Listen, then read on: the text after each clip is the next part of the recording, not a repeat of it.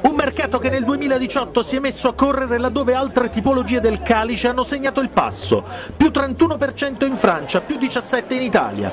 Il colore rosa è la tonalità magica del vino in questo momento. Nel mondo ne vengono prodotti 20,3 milioni di ettolitri, in Italia poco più di 2 milioni, in Puglia 4 milioni di litri.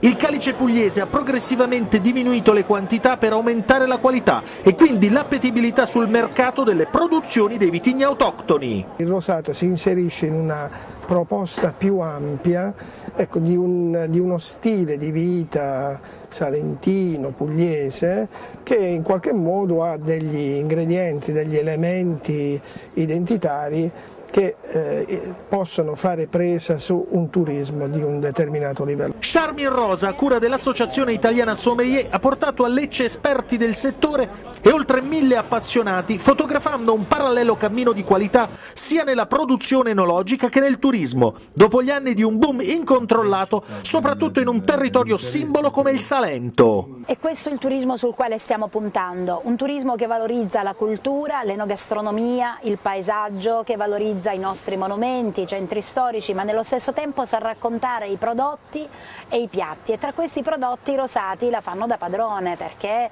è una caratteristica, è un prodotto quasi identitario direi. È per questa ragione che apprezziamo molto l'iniziativa dell'AIS. Questo charme non è solo sensualità emozionale, ma anche ragionamento intorno alle potenzialità future della promozione congiunta tra calice e territorio. Noi abbiamo la necessità che questa specificità enologica diventi patrimonio eh, collettivo, che diventi patrimonio dei nostri ristoratori, dei nostri bar, nostri, eh, delle nostre attività ricettive. Finché non otterremo questo risultato noi rimarremo sempre a metà strada. Una storia che nasce a Salice Salentino nel 1925. La famiglia Leone De Castris inizia l'imbottigliamento dei suoi vini.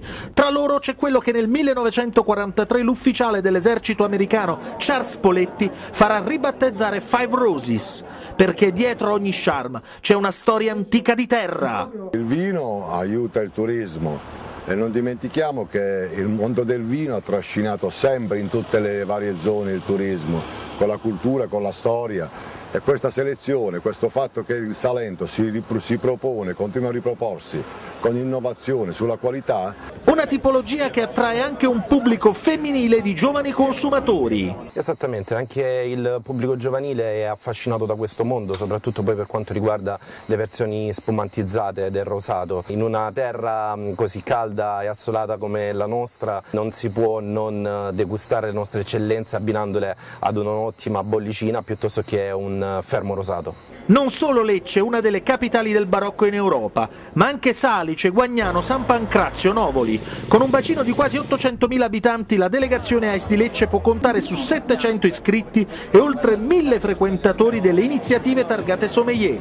Numeri da metropoli, altro che provincia. L'attestazione di stima di fiducia da parte di tutte queste persone fanno sì che oggi AIS Lecce conti oltre 700 soci e continui a crescere in quelle che sono poi le attività sia conviviali come queste ma anche le attività didattiche per i quali ogni anno sforniamo, passatemi il termine, dai 60 ai 120 sommelier per ogni sessione. La serata continua sopra il traffico leccese. Molti che non hanno utilizzato le prevendite dei biglietti via internet restano fuori, perché lo spazio è saturo di gente e di entusiasmo. Perché lo charme attrae, specie se all'emozione unisce un pizzico di consapevolezza.